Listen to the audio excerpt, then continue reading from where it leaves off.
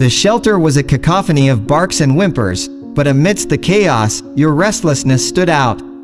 You were a ball of nervous energy, pacing back and forth in your enclosure, tugging on the leash as if trying to escape the invisible chains of anxiety. I wasn't planning on taking you home. It seemed like an improbable pairing, you and me. Days turned into weeks, and I visited the shelter sporadically, each time observing you from a distance. I couldn't shake off the feeling that there was something about you, something beyond the surface, something waiting to be discovered. Then, one day, it happened. You looked me in the eye, a simple act that held no magic, no omens, no dramatic revelations. Yet, in that moment, a connection sparked, subtle but undeniable.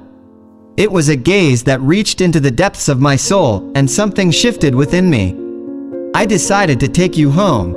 A week later, the world changed. The first quarantine was announced, and in the midst of uncertainty, I remembered your gaze. Fate, it seemed, had brought us together for a reason. You became a constant, a source of comfort in a world turned upside down. My friends, it seemed, had known all along that you were meant to stay, but I was the last to realize.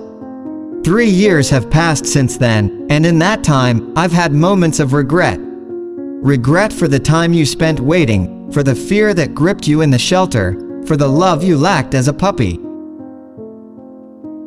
I apologize for not being there for you when you needed guidance to navigate a world that seemed daunting. But with each passing day, I strive to make up for lost time, showering you with the love and reassurance you deserve. I'm sorry for the fear you harbor towards other dogs, a fear that perhaps stems from months spent in the shelter.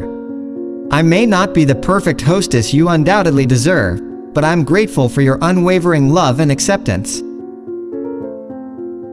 As I return home from work, walks, and travels, your joyful WWW woof down the hallway warms my heart. I adore every speck on your fur, and every sound you make is music to my ears. You've taught me how to love, how to be a better owner, and every year, I strive to improve. Your devotion is boundless, your love unconditional. Thank you for being my most beautiful sheepdog. Please stay with me for as long as you can, and know that I am endlessly grateful for the lessons you've taught me about love, loyalty, and the extraordinary bond between a human and their faithful companion.